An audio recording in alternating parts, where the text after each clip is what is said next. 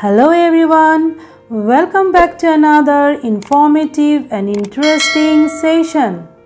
Today we are going to focus on matter, solid, liquid and gas. Children, when we look around we see various things, some of which happen naturally in the environment while others are created by humans.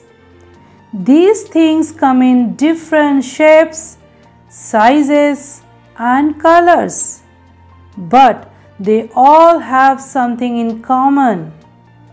They have weight and they occupy space. So, everything in the world that occupies space and has weight is called matter. Matter is made up of many tiny particles. These tiny particles are called molecules. Look here, this is a bowl. Now I am going to place this bowl on the table. What do you notice? Yes, the bowl occupies the space of the table. And if I put the bowl on a weighing machine, it will show that the bowl has weight. So that means bowl is a matter. States of matter and their properties. Different things exist in different forms called states. There are three states of matter. They are solid, liquid and gas. Let's learn about solid. Things such as pen, pencil, ball, stones, etc. have a fixed shape and size. They do not flow and cannot be poured into containers. Such things are called solids. In solid states, the particles hold together very tightly. That is why solids have definite shape and volume. When you move a solid from one container to another, it keeps its shape same and does not change. Liquids Things such as water, oil and milk do not have a fixed shape but have definite volume. They flow easily.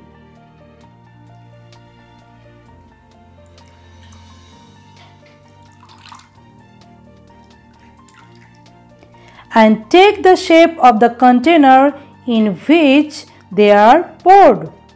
Such things are called liquids. In liquid state, the particles are not so closely packed like solids. That is why they move around and flow more freely. Gases. Gases don't have a fixed shape and a definite volume.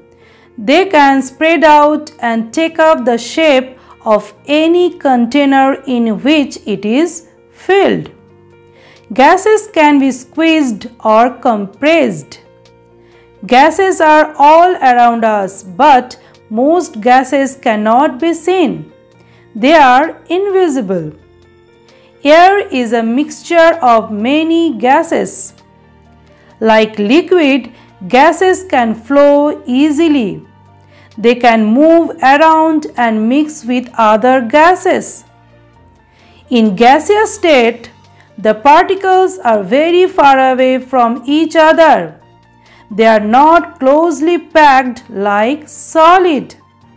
That is why gas can flow easily. Example of gases are water vapor, carbon dioxide, oxygen and nitrogen. Forms of water Actually, water exists in three forms on earth. Those three forms of water are water in solid form, ice, water in liquid form, rain or water itself, Water in vapor form, steam or gas. So three forms of water are ice, water and steam. Water in solid form. On earth, water is found in solid form as ice, snow, glaciers, etc. Water in liquid form. A large portion of water on earth is present in liquid form. Ocean, rain, seas, lakes, rivers, ponds, and groundwater are the main sources of the liquid form of water. Water in vapor form. Water vapor is always present in the air around us. We cannot see it. So, water is present in mainly three states solid, liquid, and gas or vapor. Change of state. Matter can change from one form to another by heating or cooling. This is called a change of state. Like solid to liquid, liquid to gas, gas to solid, and also in the reverse direction. So let's see how it happens. For example, water freezes to form ice. How do you make ice cube in a tray? First, we fill the tray with water, then place it in the freezer. Freezer is very cool. The water in the freezer loses heat to the chilly air and water is transformed into ice. So freezing in the process of the transformation of water into solid. So, the process by which a liquid changes into a solid on cooling is called freezing.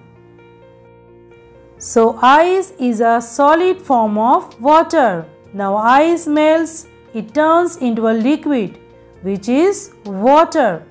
But how it turns into a liquid? If we leave an ice cube outside a freezer and place it in a warm area, the ice cube will absorb heat from the warmer air surrounding and then it melts and becomes liquid. So the process by which a solid changes into a liquid on heating is called melting.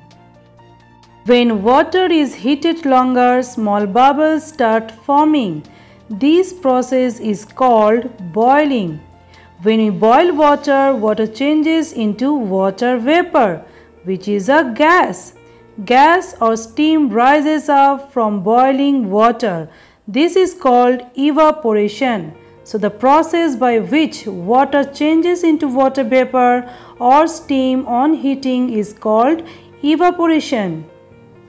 If you hold a lid or a plate above boiling water, the steam touches the lid which is a cooler surface. Then the steam cools down and changes into tiny water droplets. This is called condensation. So the process by which a gas changes into a liquid on cooling is called condensation. So children, today we have learnt a very important, informative and interesting topic. If you like the video, then please like, share and subscribe the channel for more videos. Thank you.